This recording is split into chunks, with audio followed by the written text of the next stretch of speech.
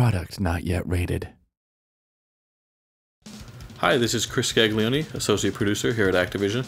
Today I'm going to take you through a brief demonstration of Tony Hawk's Downhill Jam for the Wii. Tony Hawk's Downhill Jam is the first downhill skateboard racing game being developed exclusively for the Wii and Nintendo DS. The game takes advantage of the intuitive Wii remote by letting you feel like you're doing the skating and you're bombing the hills. The object of the game is simple, cross the finish line first. When you begin the game, you can choose from 10 characters including Tony Hawk.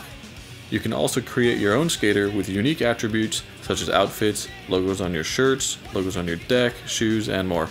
As you progress through the game, you'll unlock advanced decks.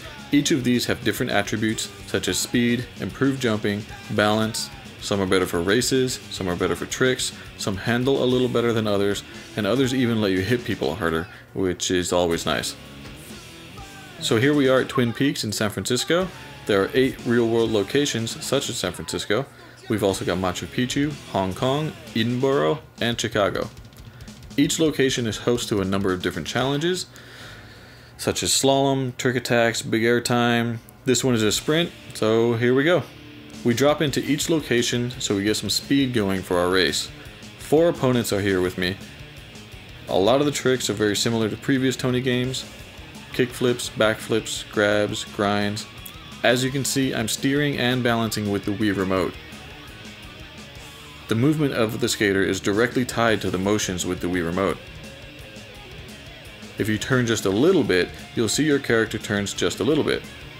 If you turn all the way to the right, you'll turn sharp and slam right into the wall. Now, when you fall, did you see how I shook the Wii remote violently? That'll get you up a lot faster. Each challenge allows the player to hone their skills with the Wii remote. The game isn't only racing, we've also got a little combat that you can do to get yourself ahead. The great thing about downhill skating is the power slides.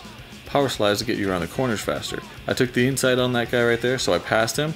As I do tricks and power slides, I build up boost on the right side of the screen. When the fire comes up, I shake the Wii remote and I go a little bit faster.